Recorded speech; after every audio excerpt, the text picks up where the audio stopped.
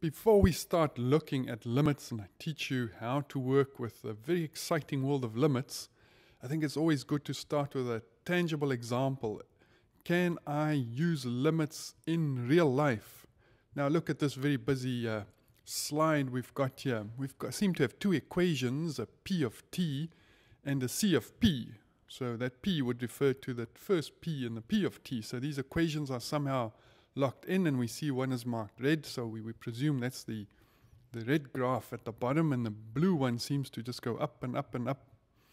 And what's the story behind this? Well, um, I said we should make it real life, so let's come up with a good story. Aliens are about to invade the earth. Oh, and everyone is concerned, and the president asks, What can be done? And the scientist says, Well, actually, the aliens have landed before, and we did some experiments on them, and we came up with these two equations. What's these two equations? The president says. Well, he says. Well, says one is we uh, we had a population model there, and we called it P of t. And as time increases, that is in this area where the where we had the aliens and we experimented on them. That's the population of the people there, and this C of P.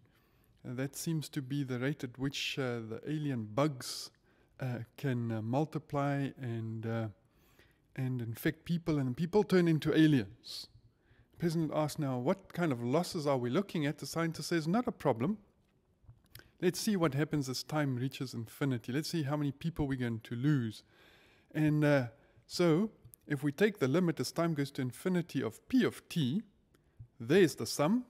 You don't know, need to know how to do it. It ends up at 20. The answer is going to be 20. And if we plug that p value of 20 into the c of p, we see, oh, the answer is 4.2.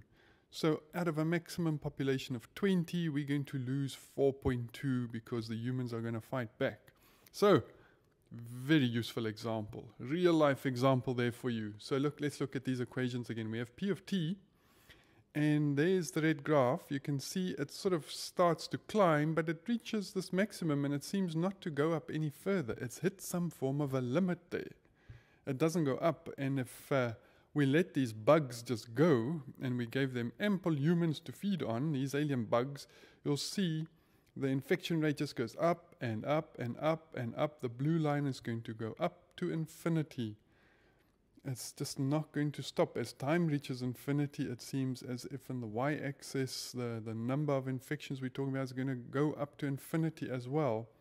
But if we combine these two, it says to you that, well, these bugs can't just really infect humans and turn them into aliens uh, ad infinitum.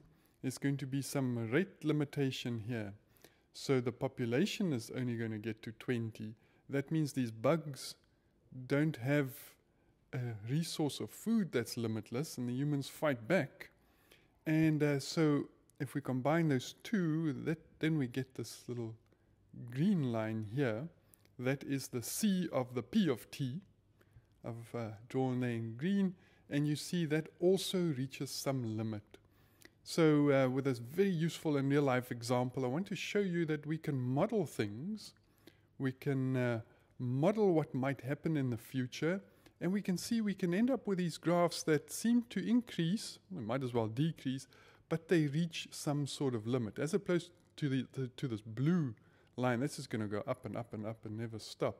But you can get these other equations that seem to go up or down, as I said, but they reach some form of limit. And then we know we usually model time to go to infinity, and realistically, that might mean months or the next couple of years or the next couple of decades, whatever the situation might be.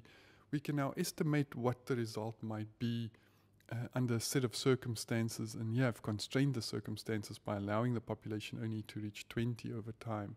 You can constrain, put some constraints on, on my equations there, and there seems to be this natural limit things can get to, and that is how things work in medicine in the disease and the spread of disease. Some limit is reached.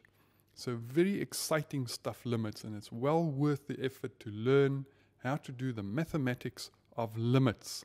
Let's get started.